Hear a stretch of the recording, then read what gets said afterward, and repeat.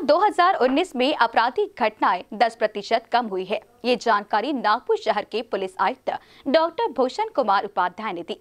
इसका श्रेय नागपुर पुलिस को जाता है। नागपुर पुलिस के लिए साल 2019 बहुत चुनौतीपूर्ण रहा। इस साल शहर में दो बड़े इलेक्शन हुए हैं। लोकसभा और राज्यसभा इलेक्शन के दौरान भी पुलिस ने सतर्क रहकर कानून और सुव्यवस्था बनाए रखी।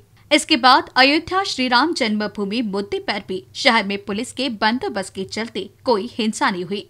साल के अंत में 16 दिसंबर से 21 दिसंबर तक शीतकालीन सत्र चला। इस दौरान शहर में मुख्यमंत्री से लेकर गृह मंत्री साथ ही कई नेता और विधायक शहर में मौजूद थे। इनकी सुरक्षा का जिम्मा भी पुलिस पर था और पुलिस ने यह ज़िम्मेदारी भी बखूबी निभाई है। इसके साथ ही विधान भवन पर अधिवेशन के दौरान कई मोर्चों ने विभिन्न मांगों के लिए दस्तक दी। इस दौरान भी पुलिस ने कड़ा बंदोबस्त किया था। इसलिए प्रदर्शनकारियों ने हिंसा का मार्ग छोड़कर शांतिपूर्ण प्रदर्शन किया। देश में सीएए और एनआरसी के विरोध में लोग सड़क पर उतर आए हैं, जिसका असर नागपुर में भी दिखाई दिया।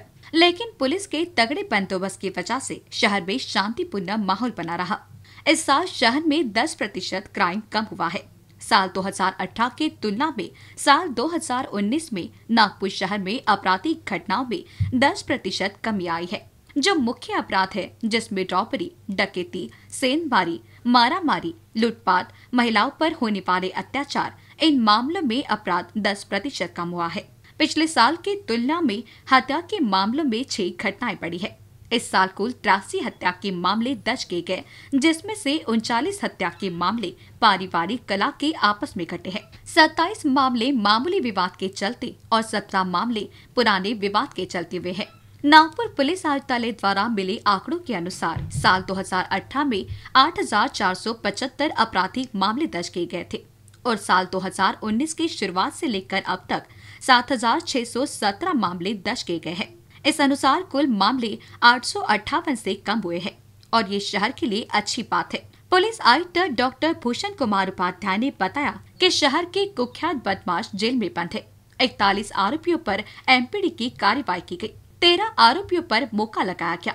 साथ ही महाराष्ट्र राज्य में नागपुर में एमपीडी की कार्रवाई सबसे ज़्यादा की गई। गैंगस्टर संतोष आम्बेकर अबू, लिटिल सरदार जैसे कुख्यात अपराधी जेल में बंद रहने से आपराधिक घटनाएँ कम हो रही है। पुलिस आयुक्त ने पुलिस विभाग को सहयोग करने के लिए शहर की जनता और पत्रकारों का आभार माना। सर, राज्य सरकार ने भी थर्टी फ़र्स्ट दिसंबर को और एक जनवरी तक सुबह पाँच बजे तक के बार हो पब्स शुरू करने का निर्णय रखने का निर्णय लिया है। तो सर, अभी देखा जाए तो क्राइम दिन ब दिन बढ़ते जा रहे हैं। और एक और से महिलाओं पर अत्याचार भी बढ़ते जा रहे हैं। तो ऐसे में ये निर्णय सही है या गलत? अब देखिए, मेरे हिसाब से इस टाइप का निर्णय हर एक साल रहता है, कोई नई बात नहीं है। लेकिन हम पूरे नागपुर शहर में काफ़ी स्ट्रॉन्ग पुलिस बंदोबस्त लगाने वाले हैं। उसमें हमारा फिक्स पॉइंट है पेट्रोलिंग है, या जो क्रिमिनल रिकॉर्ड के हैं, उनको हम पहले प्रतिबंधक कार्रवाई भी कर रहे हैं। इसके अलावा पूरे शहर में कम से कम सत्तर जगह हम नाकाबंदी लगा रहे हैं। वहाँ पे हमारे ट्रैफ़िक वाले रहेंगे, पुलिस के लोग रहेंगे और कोई भी शराब पी के गाड़ी चलाएगा तो उस पर हम कार्रवाई करेंगे। ये कार्रवाई आज से हम रात से शुरू कर रहे हैं।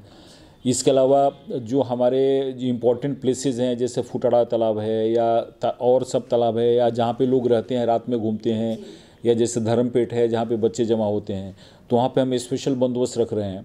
तो लास्ट ईयर भी हमने काफ़ी स्ट्रॉन्ग बंदोबस्त रखा था और कहीं भी कोई अप्रिय घटना नहीं हुई थी। तो उसी हिसाब से आज भी हम पूरे शहर में बंदोबस्त रखेंगे इकतीस को और मेरी पूरी उम्मीद है कि लोग हमको कॉपरेट करेंगे और नागपुर शहर में पूरी शांति के साथ, अमन के साथ थर्टी फ़र्स्ट मनाया जाएगा। तो सर कितने बजे तक के मतलब ऑन ड्यूटी रहेंगे पुलिस के देखिए हमारा बंदोबस्त तो ऑलमोस्ट साढ़े ग्यारह बजे लग जाएगा ग्यारह साढ़े ग्यारह बजे और हमारे लोग छः बजे तक रहेंगे पूरी ड्यूटी पे जी। सर और आप शहर के सीपी होने के नाते शहर के नागरिकों को क्या आह्वान करेंगे कि? देखिए मेरा लोगों से यही आह्वान है कि थर्टी फ़र्स्ट को लोग काफ़ी उत्सव मनाते हैं तो आप ज़रूर उत्सव मनाइए ज़रूर आनंद को लूटिए, उसमें कोई प्रॉब्लम नहीं है। लेकिन ये हमेशा ध्यान रखिए कि कोई भी कायदा और सुव्यवस्था का प्रश्न निर्माण ना हो, दूसरे किसी को तकलीफ़ ना हो। और पुलिस अगर आपको रिक्वेस्ट करती है तो आप पुलिस को कॉपरेट करें। कहीं पे कोई अपराध ना हो पाए, कायदा लॉ ऑर्डर का कोई प्रॉब्लम ना हो और आपके पड़ोसी को और किसी व्यक्ति को तकलीफ़ ना हो। कुछ बच्चे काफ़ी फास्ट मोटरसाइकिल चलाते हैं तो उसका भी हम बंदोबस्त करने वाले हैं। तो हम उनसे भी रिक्वेस्ट करते हैं कि एक्सीडेंट हो सकता है या कुछ घटनाएँ हो सकती हैं। तो ये नया साल अच्छा जाए, इसके लिए उसको अच्छे ढंग से मनाएँ।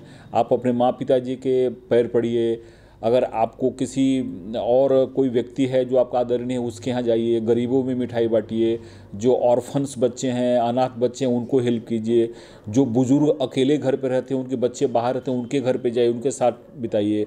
तो एक, या जो अपना ओल्ड एज होम है, वहाँ पे जाइए। तो मेरा ऐसा मानना है कि हम जब भी उत्सव साझा करते हैं तो उसका पर्पस ऐसा रहता है कि उससे समाज की संदेश जाए, उससे कोई नुकसान ना हो। तो हम अगर खुशी किसी को दे सकते हैं, जिनको खुशी की ज़रूरत है तो मेरे हिसाब से काफ़ी अच्छा होगा। और एक अच्छा हम संकल्प लें नए नए साल में कि हम कोई भी अपराध नहीं करेंगे, हम किसी को तकलीफ़ नहीं देंगे, कानून को मानेंगे।